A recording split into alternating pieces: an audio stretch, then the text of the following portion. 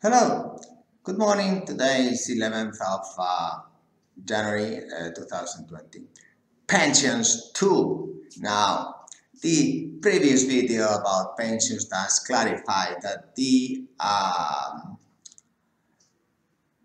income of uh, retired is real, decreasing 6% 2020. 2021 it will decrease let's say 15 1.5% because this is compound uh, loss of income and uh, money inflation. It is going to be uh, much bigger. If we take into account digital currencies gold and then also you if you are retired you must really take into account that there is 5 million, uh, for example, in Spain, public workers, and the productivity is 5%. So you can imagine uh, that uh, the millennials and Z generations, uh, your grandkids, have to pay these wages, and uh, you are the last in the queue to get the money. Uh, yes, you are the last one to cut the cake. So Whatever remains is for pensions. Now, I explained previously that uh, with this digital coronavirus uh, revolution, the positive thing is that there is a huge positive digital revolution now. From wheels to telephones to electricity and uh, to uh, today is the digital revolution. So we don't need five institutions with five million uh, public workers. We only need uh, security, health, education, and this can be sharing overheads, miscellaneous with different countries at 100% uh, key performance indicator, so tax is 5%, and this would leave the other 5% that we are happy to pay for your pension because you have really done enough throughout your life to get this uh, price of getting retired, uh, retired, sorry, and getting the pension. But this is not the case because this government uh, and any other government also, it is really uh, uh, spending your pension in other areas, which is a conflict of interest. It is a penal, and uh, but this is a judges to define. Question is that if they sold all the 50,000 buildings, with uh, 300 billion approx, approx plus or minus opportunity cost, then also the uh, 300 billion would be in the wages of those that occupy these buildings, approx that's 600 for uh, ever. That's a perpetuity savings uh, in the administration of this government, in this case is Spain, so that that money can be put for your pension. But what you cannot do is to have your grandkids earning minimum wage, 1,000 euros, and uh, because there is 5 million people that uh, you need to pay uh, taxes for those 5 million people. So this would really be disrupted uh, if it was a real economy, like banks are closing branches or retail is closing shops. You have seen how Zara has closed in Spain and China the shops because the digital revolution is here. There is no point in having gold if you can have a digital currency. You don't need to pay and the cost and then you can have much more uses for this.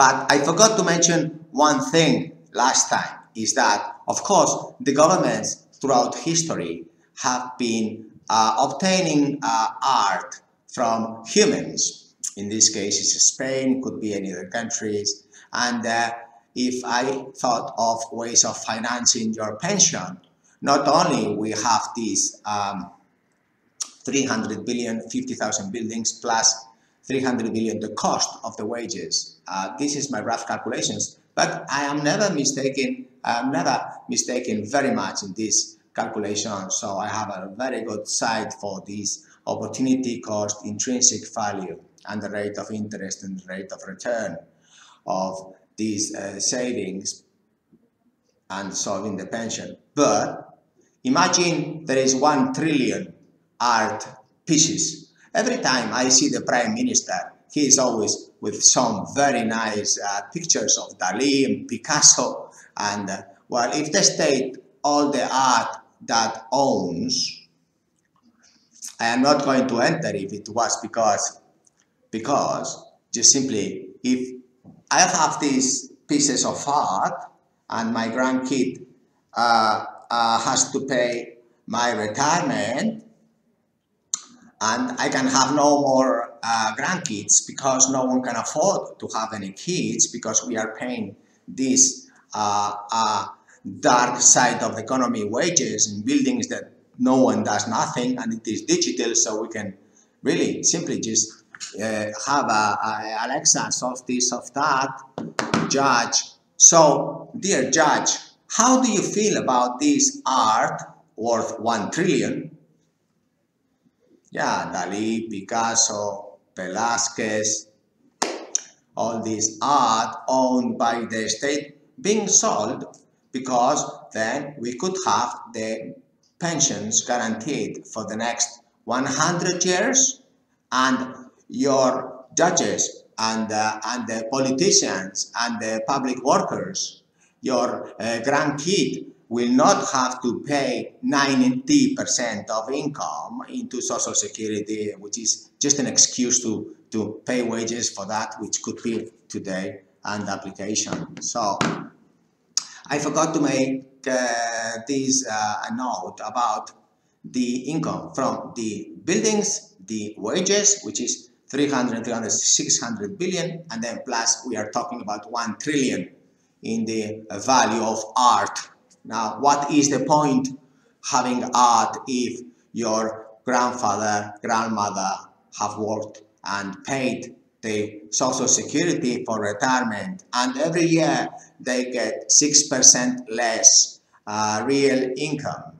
This year, 2021, you will see it will be huge because real money is losing power for digital money.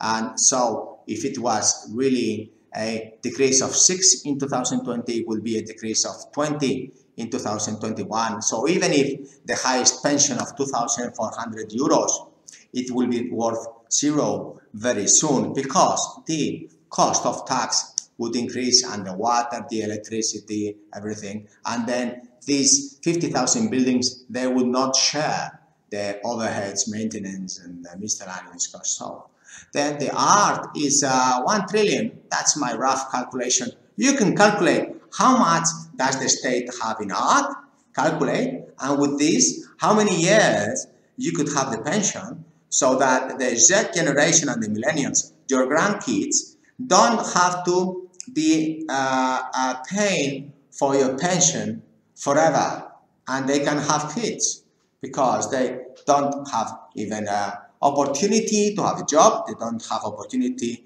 to have a house, they don't have opportunity to have kids, they have zero opportunity cost. And this is because the public system is just getting all the income. And it is a great opportunity, this coronavirus, to say, well, do we have to keep paying your retirement for next 100 years? Or now, because coronavirus, we can close these buildings, sell the buildings, sell the art, and then the Z and millennials can really, if they are digital, go to Spain we can push this country forward and the same for the world. We will see that. Thank you very much. Bye.